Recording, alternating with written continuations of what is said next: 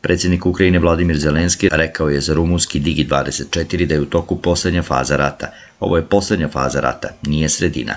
Prva faza je bila okupacija, posle koje je usledilo zaustavljanje ofanzive i preuzimanje inicijative. Mislim da se nalazimo u poslednjoj fazi. Imamo puno strahova u vezi sa novcem, oružjem, ali nalazimo se u poslednjem stadijumu koji je najteži, kazao je Zelenski. Na ove reči reagovao i ministar spoljnih poslova Rusije Sergej Lavrov, rekavši da izjavu Zelenskog treba tumačiti kao priznanje da se nalazi u bezizlaznoj situaciji. Mislim da je to priznanje koje pokazuje bezizlaznu situaciju u kojoj se danas nalazi Ukrajina. Ako je rekao da je to poslednja faza, ne mogu mu zabraniti da tako komentariše, naveo je Lavrov. Dugo najavljivana ukrajinska kontraofanziva počela je 4. juna ove godine i Ukrajina i Zapad priznali su da se ona odvija sporije nego što je očekivano, dok je načelnik glavne obaveštene uprave Ukrajinskog ministarstva odbrane Kiril Budanov priznao da su ukrajinske snage ispale iz ritma. On je istakao da od sredine 2024. Kijev očekuje smanjenje vojne pomoći od zapadnih zemalja. Nešto slično saopštili su nedavno i iz Bele kuće.